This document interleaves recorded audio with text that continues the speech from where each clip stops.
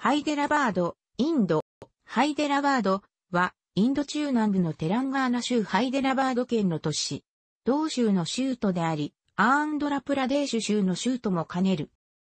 ハイデラバードは、ハイダルの町、アーバードの意である。アーンドラプラデーシュ州の第一公用語である、テルグ語ではと表記される。ラテン文字で音声転写すると、ヘイターラポートとなり、現地語に近い日本語表記は、ハイダラーバードとなる。しかし、日本語での表記法は統一されておらず、世界大百科事典や山川出版社の書籍が、この表記を用いるなど学術用語としては、使用例が多い一方、広辞苑やブリタニカ百科事典、また外務省やメディアでは、ハイデラバードの表記が用いられる子が多い。また、両者の中間であるハイデラーバード、ハイダラバードの表記も散見される。ハイダラーバードが現地の発音に近いが、本校では使用例の多いハイデラバード表記を使用する。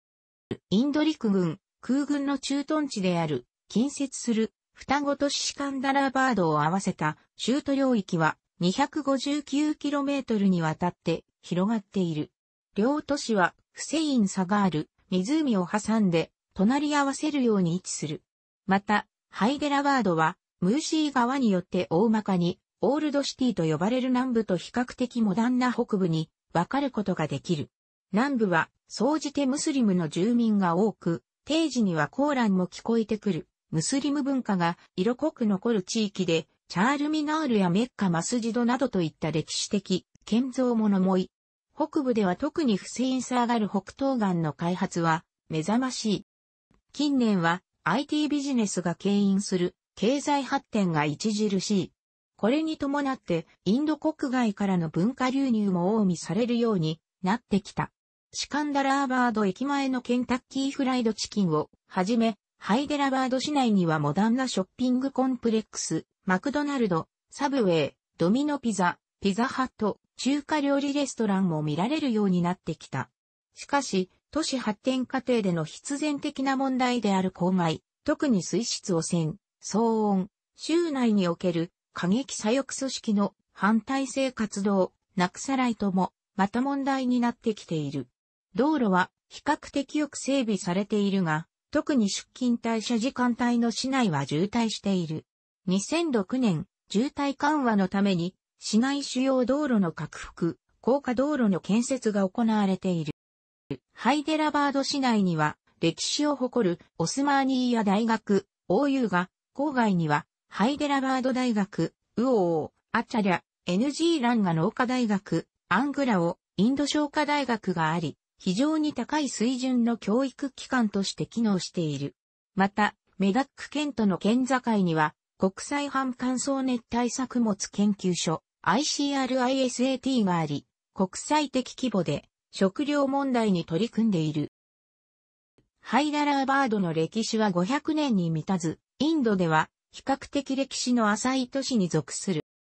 歴史上には、ハイダラーバード近郊北西部に位置するゴールコンダが、まず登場する。カーカティーや長期に名を馳せたガナパティデーバは、ゴールコンダの岩山に、初めて砦を建設させた。カーカティーヤーサとは、後期チャールキヤーサから独立した王朝である。カーカティーヤ王位を引き継いだ女王ルドラマデービーの統治期には、マルコ・ポーロがカーガティヤ朝の都に立ち寄り、その繁栄に感銘を受けたと伝えられている。その後プラタパルドラ2世が殺害されてから、カーガティヤ朝は、ハルジー朝やトゥグルク朝の肉していった。その後200年にもわたり、デカン高原一帯を支配したバフマニー朝、その13代目の王ムハンマドシャー3世の統治期、1463年にテランガーナー地方で問題が発生したためクリー、クトゥブルムルクが同地方の総督として派遣された。スルターン・クリー・クトゥブルムルクは続くムハンマドシャー4世からもいくつかの称号を授けられ、バフマニー朝の宰相となった。1518年、彼は独立を宣言してゴールコンダ王国を打ち立てた。そして王国の首都をゴールコンダに定め、カーガティや長期の触れぼけた泥の砦を強固な石のゴールコンダ城として再造営した。彼の後継者もその事業を受け継ぎ、数多くの強固な増築がなされた。ゴールコンダ王国の統治期は、アンドラプラデーシュ州における建築及び芸術の黄金時代だった。歴代ゴールコンダ王国の王たちは偉大な建築家であり、また建設をこよなく愛していた。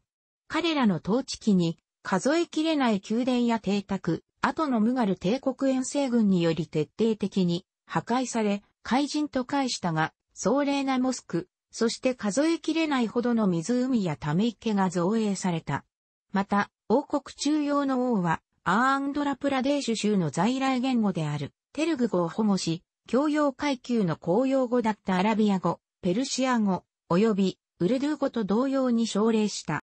1589年、ムハンマド・クリーク・トゥブシャー、五代目の王は、ハイダラーバードの南を流れる、虫川周辺が豊かな緑に覆われた土地であることに目をつけ、そこをゴールコンダ王国の王都に定めた。有名な言い伝えによると、そこには、チチェラムという村が存在したが、チャールミナールがあるあたり、彼はこの新しい王都の名を愛してやまなかった美しい踊り子であるバーグマティーにちなんでバーグナガルと命名した。王からのこの贈り物に驚いた彼女はムスリムに改宗して、自身の名をハイダルマハルという以前と全く異なるムスリム名に改めた。しかし、王はめげることなく王との名をハイダルの町を意味するハイダラーバードに改めてしまった。それ以来この都市はこの名で呼ばれるようになった。1611年に王が没すると、老いのスルターン・ムハンマド・クトゥブシャーが王座を引き継いだ。1626年にこの王が没すると、ゴールコンダ王国は徐々に衰退へと向かっていくが、滅亡までにはさらに60年の歳月を要し、二人の王、アブドゥラーク・トゥブシャー、在位、1626年から1672年、スルターン・ムハンマドの息子、及びアブルハサン・クトゥブシャー、在位、1672年から1687年、アブドゥルの娘婿であり、そして、ゴールコンダ王国初代のいとこの総孫がこの王国の末期を飾った。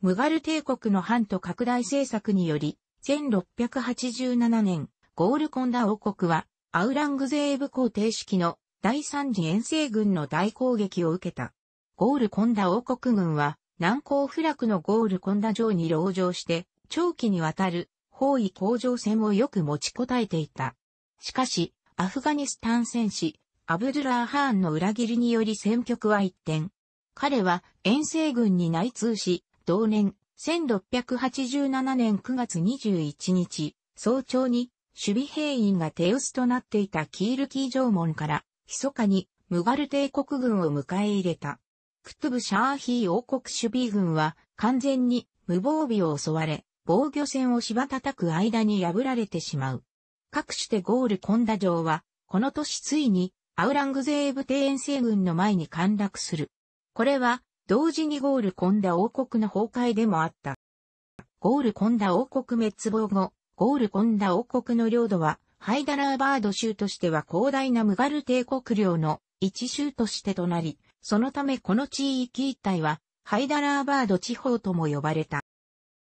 1724年、ムガル帝国の有能な将軍カマルティーン・ハーンは、帝国に見切りをつけて、彼の軍隊を率いて、旧所領である、デカン高原へ旅立ち、アウランガーバードによって、アーサフジャー一世とて独立を宣言し、ニザーム王国を建国した。その後、1763年、あるいは1752年11月に、アウランガーバードからハイダラーバードへととは遷都され、ハイダラーバードが王国の名を冠することもあった。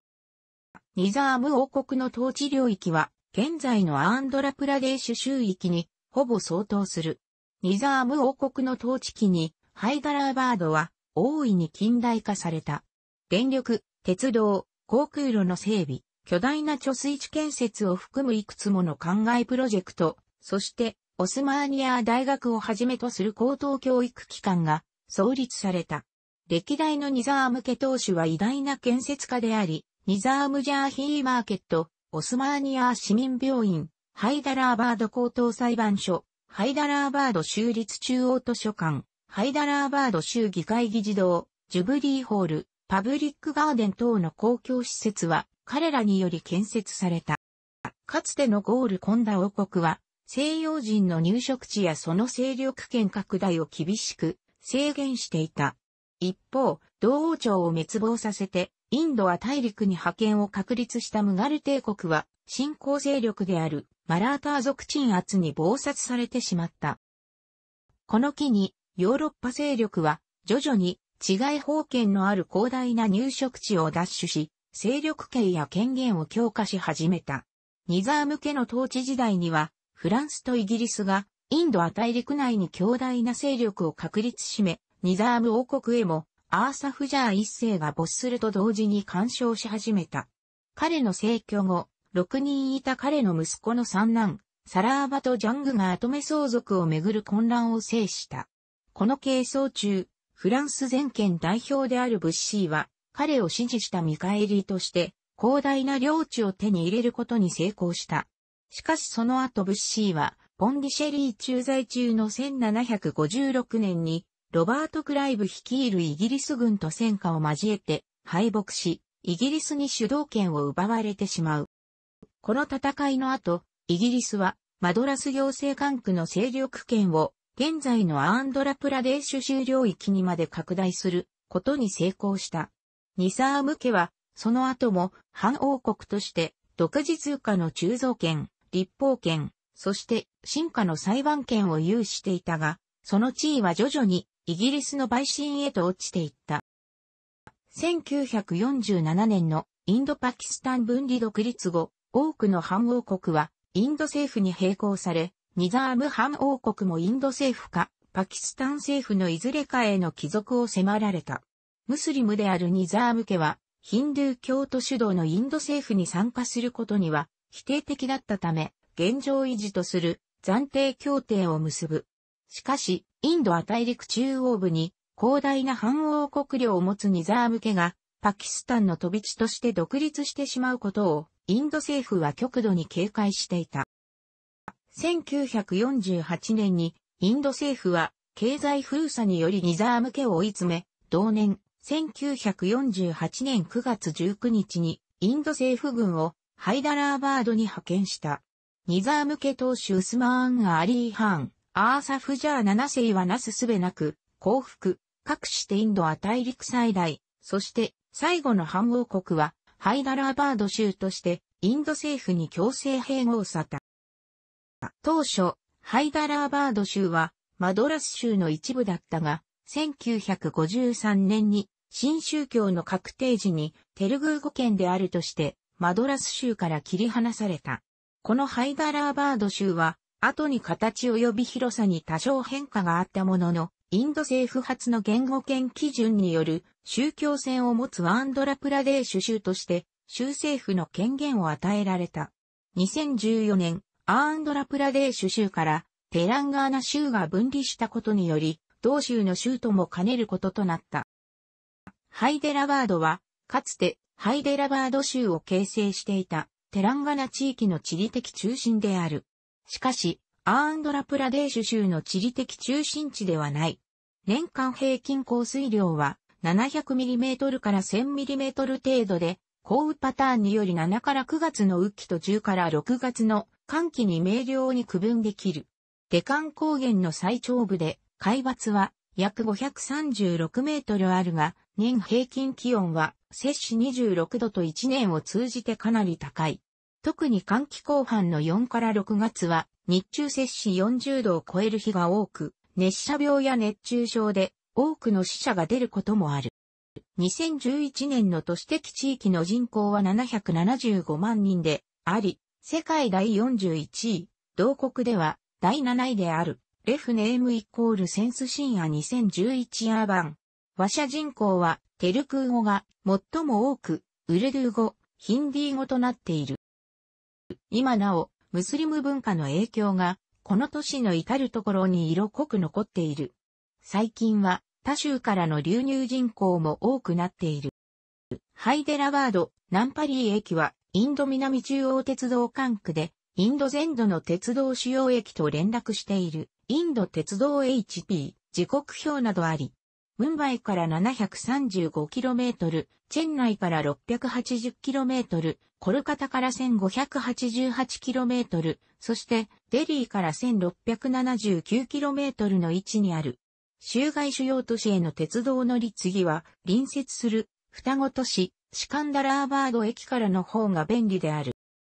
よく整備された二つの国道、7号線、9号線がこの都市を貫いている。国道7号線を通じて、南の大都市、バンガロールそして北のマハラシュトラ州へ、国道9号線を通じて、プネー、さらに北西の大都市ムンバイへ、旅客、物資の移動が活発である。市内のフセインサーガル湖北部に位置するジュブリーバスステーションは、インド各都市への長距離バスの発着点で、ここから大抵の都市に旅することができる。市内の移動には、市バス、オートリクシャーが市民の主要な移動手段として利用されている。デリーと異なり排気ガス規制が皆無のため、これらの交通手段は安価なディーゼルエンジンを動力としおり、交通の激しい市内の空気は排気ガスまみれである。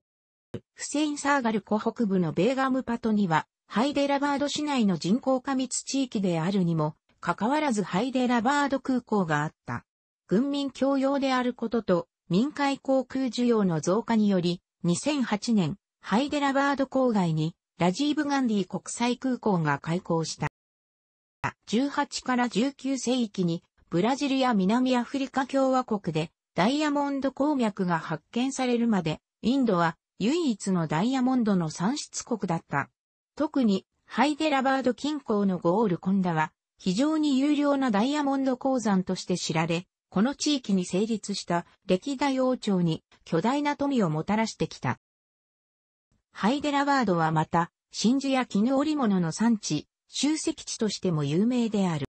近年は、四北西郊外の広大な敷地に、経済特区ハイテクシティを建設し、インド国内、インフォシステクノロジー、ウィプロテクノロジー、サッティアム、タタコンサルタンシーサービス等だけでなく、世界中、マイクロソフト、グーグル、アナログデバイセズなど、から巨大 IT 企業を誘致している。前王朝により1143年に建てられた泥の砦は、その後、ゴールコンダ王国のイブラーヒーム・クリーク・トゥブシャ及び、その息子、ムハンマド・クリーク・トゥブシャーの治世62年間に、白いと化け、拡充された。城は、高さは122メートルの孤立した花崗岩の丘の上に今も壮麗にそびえ立っている。場外角は丘に沿うように、そして城を囲む外壁は、歪な両形状に設計されている。頑丈な銃眼を持つ、災害壁は、外周囲 7km 近くにも及び、さらに周囲に深い堀を持ち、高さが15から18メートルもある87の半円形両方、ブルジ、8つの巨大な門を有する。陶器製パイプを利用した給水システムが城内に存在したことが明らかになっている。このシステムにより飲料水はもちろんのこと、いくつかの噴水も城内に作られていた。さらに、この城はユニークな通信システムを持っている。正面玄関のアーチの下で手を打つと、アーチの反響効果により30から40メートル以上離れたバーラーヒサールや別の地点へその音が明瞭に伝わる。また、王の越見バルコニーには特殊な視覚効果が施されていたと伝えられている。この仕掛けにより、別の場所にいる王の幻影を越見バルコニー上に映し出し、万が一の視覚の攻撃から王を守ったと言われる。ゴールコンダ城は、巨大な花崗岩の三重壁で取り囲まれている。災害壁は、小砦を一つ持ち、小球場を取り囲む設計である。2番目の壁は、丘のふもとに沿って、3番目は、巨石群を取り込んで、丘の斜面に建設されている。外壁の厚さは5から10メートルで、巨大な花崗岩ブロック製である。北東の角には、ペトラブルジ、城の一角から突き出ていて、その両側の長大な外壁を一望できる大福療法があり、ファテヒーラーフバル法が据え付けられている。北東にある別の領補は9つの丸突起がある波打った面を持っているので9つの丸突起の領補と呼ばれている。他にも二つの領補が有名である。一つは、城の南方にあるムーサーブルジである。この領補は、当時ムガル帝国王子だったアウラングゼーブ率いる1656年のムガル帝国第二次遠征軍を防ぐためにアブドゥラクトゥブシャーの将軍だったムーサーハーンによって設計され、建築家のダウマ・チャールによって増設されたものである。もう一つは、今日もはや存在しないカーガズイ、神ブルジである。その呼び名の由来は、1687年のムガル帝国第三次遠征軍の工場砲撃で集中的被害を受けた部分をゴールコンダ王国守備軍の絵描きと職人たちが人よで紙と布の完璧なハったり療法として作り上げたことによる。その1日後にゴールコンダ城は陥落した。これらの療法の記述は、テルグ語の碑文や王トールの事業記録中にも見ることができる。4つの高等を持つ大建造物は、ゴールコンダ王国の伝説的最高傑作である。チャール・ミナールは、後のニザーム反王国発行のハイデラバード、ルピーカリメンにも刻印されていたし、今なお、ハイデラバードを象徴する、最も有名な建造物である。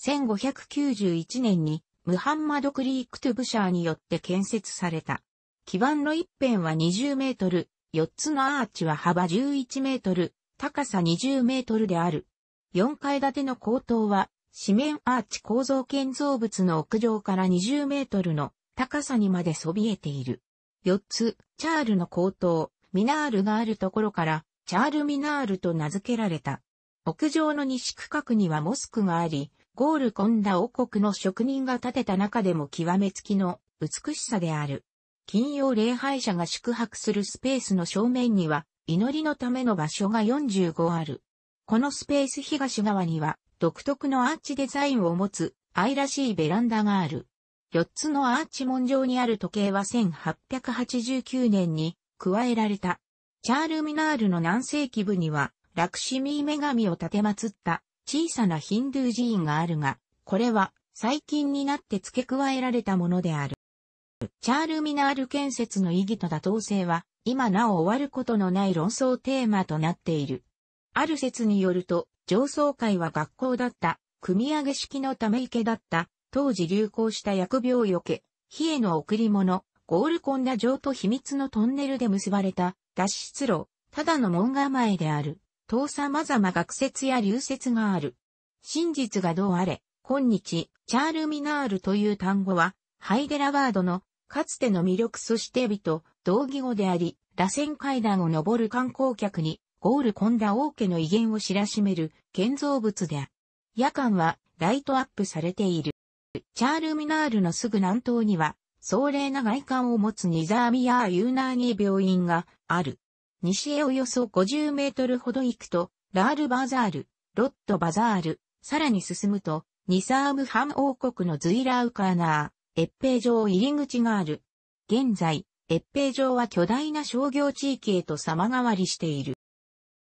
インドでも最大級、ハイデラワードでは最大のモスクであり、一度に千人もの信者を収容できる。チャールミナールの南西91メートルにある。その名前はメッカのグランドモスクに由来し、そのモスクの様式を踏襲している。大広間は67-54メートル、高さは23メートルである。広間の三面は、それぞれ5つアーチを持ち、この計15のアーチが天井を支えている。西側はムスリムで最も神聖視されているカーバ神殿への祈りの方角であるため高い壁で塞がれている。両端にはそれぞれ花崗岩の一枚岩から作られた柱状の鉢、角道があり、その上にはドーム屋根を持つアーチ状に連なった回廊がある。メッカマスジドの建設は、ゴールコンダ王国のスルタン・ムハンマド・クトゥブシャーの指令により、ミール・ファイズラー・ベグ及びチョードリー・シャーの指揮下で始められた。8000人近くの石工と労働者が建設に携わったと伝えられる。その後も建設事業はゴールコンダ王国のアブドゥラー・クトゥブシャー及びアブルハサン・クトゥブシャーによって続けられた。そして建設開始から77年後の1694年にムガル帝国アウラングゼーブ帝がメッカマスジドを完成させた。目利きの骨董品収集家として世界に知られたサラール、ジャング、ニザーム反王国際賞にちなんで名付けられた。彼は祖父、父からも幾ばくかの品を引き継いだが、博物館の展示品のほとんどは、サラール・ジャングが収集したものである。彼は、スポーツや芸術を推奨し、1949年に没した。また、単なる骨董品の収集家ではなく、詩人や作家、美術家の講演者でもあったため、彼の死後に膨大な量の値の付けられないほど高価な収集品が残された。これらが1968年に現在の場所に移されて博物館となった。コレクションは4万3000点の美術品、5万点の書籍であり、9月の日本人形といった日本の工芸品も展示されている。2006年に増築され、これに伴って日本の展示品は新しく広く美しい展示室に移された。定時には博物館1階広場に展示されているニザーム半王朝時代の古い仕掛け時計が時を告げる。館内撮影は禁止。金曜日、祝日が休館日となっている。ハイデラワードの名物料理でマトンビリヤーニーがよく知られる。また、マトンの代わりに鶏肉を使ったチキンビリヤーニーもある。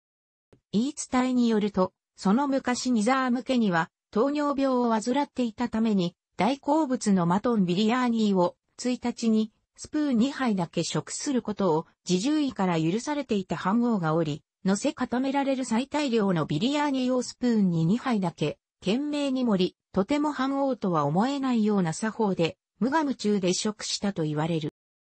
楽しくご覧になりましたら、購読と良いです。クリックしてください。